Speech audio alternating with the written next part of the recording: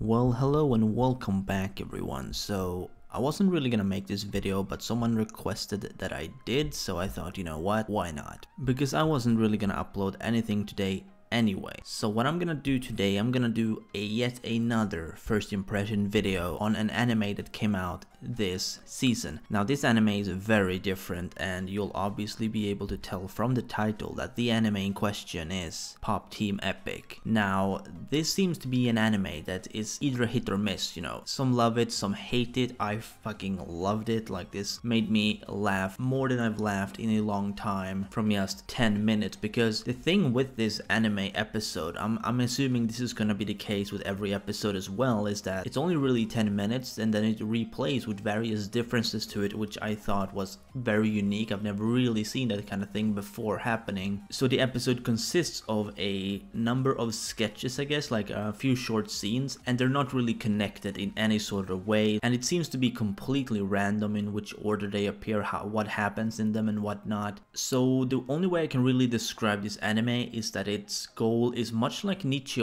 way back in the days, that it wants to make you laugh. There's really nothing beyond that, I mean, I haven't read a manga, so I could be wrong. The anime also has a bunch of references and memes in the episode, which I thought was very interesting. Like, you wouldn't expect an anime to bring out like fidget spinners or references from movies or other animes. I mean, that is of course more common, but at the level they're doing it, it's, you know, it's almost overflowing. Like, you have this Ghibli movie reference, you have your name references in it, you have a lot. Not to mention, guys, one of the main characters, the short girl, the blonde one, she looks exactly like Himiko Toga from My Hero Academia. And that is something that I really noticed when I started watching this anime. Obviously it's not Toga, I mean this is a, completely different anime, a diff completely different series, but you know, if you're a fan of Himiko Toga or a, you know, a fan of My Hero Academia in general, you know who Himiko Toga is, you're probably gonna pick up on the fact that she looks identical except she's more of a chibi rather than an actual character. Now the reason why I think some people don't like this is because of its randomness because it's not really a flowing story. It doesn't really have a plot by the looks of it. I mean, it may have a plot, but from the first episode, you don't really get the impression that it's going to be following a story like your typical anime would. And that's something that puts a lot of people off, I think. But if you're like me, and I know a lot of other people, my friends included, they think this anime was quite something. I mean, you don't really understand what's going on in the episode. I'm, I'm not gonna lie, like, you're very confused when you're watching this anime because nothing really makes sense. It's just all random and random and random. But that doesn't change the fact that it can make you laugh a lot if you have that kind of humor. Like you obviously need to have a special type of